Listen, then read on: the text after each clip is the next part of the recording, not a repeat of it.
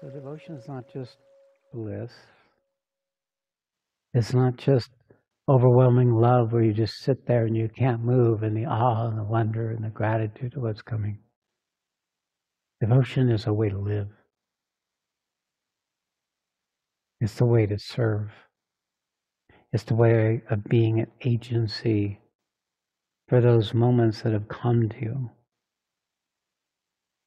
You can choose not to, but then you miss the richness and the depths and the fullness of what it is that you are in truth, this life, as you.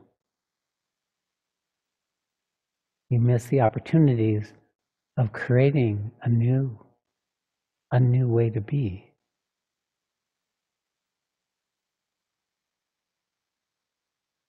So don't do that. Or stop doing that. Get useful. Put your butt in gear. Do the thing you know needs to be done.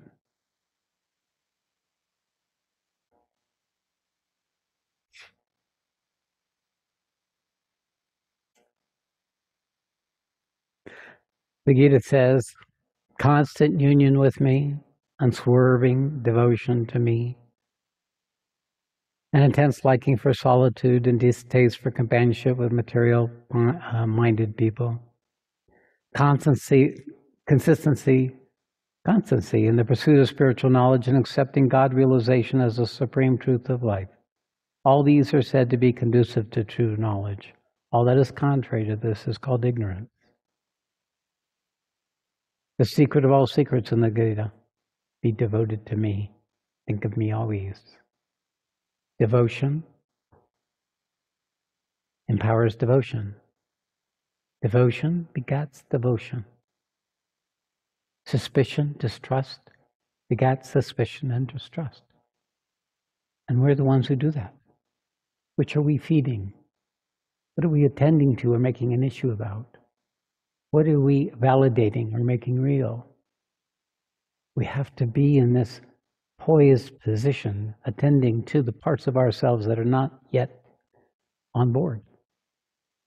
And also to rest in the resource of devotion, in the recognition of how you have lived your life to be here is evidence of the alignment of the divine forces in you that have brought you to this place where devotion can be immediately possible, can be directly recognized, and can be felt in your own experience. The more you choose to align with that which you've actually devoted to, the more you become that. You become the object of that devotion.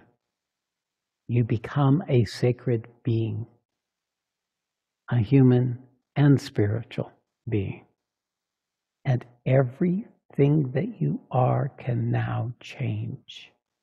Even your physical body, your nervous system, your biochemistry can change when you align your consciousness in this way.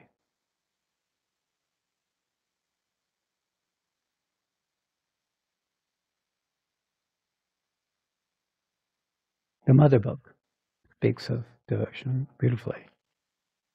It's all about devotion, in fact. It takes that one aspect and then gives knowledge to it and action.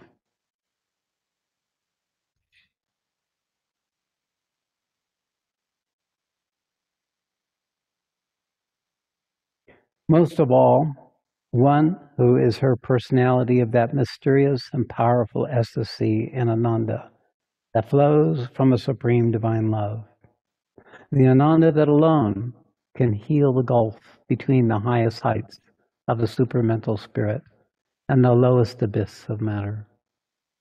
The Ananda that holds the key of a wonderful, divinivist life, and even now supports from its secrecies the works of all the other powers of the universe.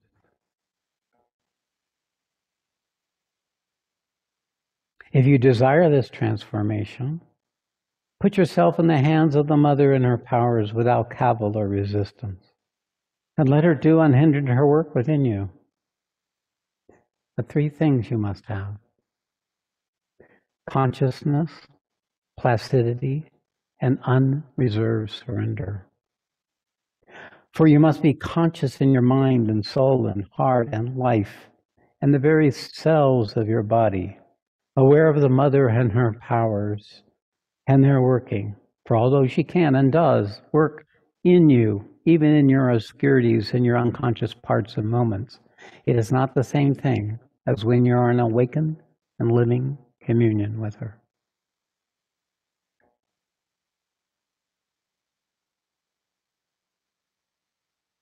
So that's all that can be said about devotion this time. That's my revelation for today. This is the task before you. This is the work you're already doing.